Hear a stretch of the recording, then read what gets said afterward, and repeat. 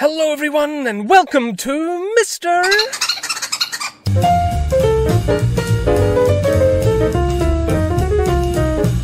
This is Africa, and here's Namibia. Now let's have a look, shall we? The 15th largest country in Africa, Namibia consists of arid plateaus and two deserts, the Kalahari and the Namib, from which it derives its name. The San were the first inhabitants, who to this day still follow the old, old hunting lifestyle of their ancestors. Over time, more peoples settled in the land, including the Nama in the south and the Bantu-speaking Damara who entered from the north. Because there was no writing in southern Africa in those days, we don't really know a lot about what was going on. The first Europeans to sight and step on Namibian soil were Portuguese explorers in the late 1400s, but it was another two centuries before European influence began to permeate the region, a curious mix of guns and the Bible, a bit like the South in the USA, I suppose. Christianity would become the majority religion, but at the time, the guns were in the ascendant, and caused quite a lot of havoc, as intertribal wars assumed a more explosive nature. Now, during the so-called scramble for Africa, when European powers gobbled up most of the continent, Namibia fell to the Germans Settlers moved in and started farms and mines, and the natives, not exactly overjoyed at being colonized, started rebellions. The Germans, not exactly overjoyed at being resisted, intensified their efforts at crushing the revolt. How? Well, seeing that the rebellion was being led by the Nama and the Herero peoples, the Germans, under the command of General Lothar von Trotha, decided to wipe out those peoples, and tens of thousands died in what proved to be the 20th century's first genocide. They died, and von Trotha was honored by the Kaiser with a shiny medal. In 1915, during World War I, German control of Namibia ended as South Africa swept in and took over, and instead of Trotha, they got a guy called Botha. Being joined to South Africa meant that from the 1940s, Namibia fell under the apartheid system of racial segregation. Anyway, after unsuccessfully pleading at the UN for years and years for independence from South Africa, we witnessed the rise of the People's Liberation Army of Namibia, who fought for freedom the old-fashioned way. It took over 20 years, but finally, in 1990, the country country gained independence and Sam Nujoma became the first president. In 2021, Germany agreed to pay over a billion euros to Namibia for the horrors it inflicted over a century before. And Namibia today, with a medium level of human development, is one of the most free and peaceful countries in Africa. And we only hope that things get better for the Namibian people. So that's it for Namibia, and that's all from me for now. Bye bye!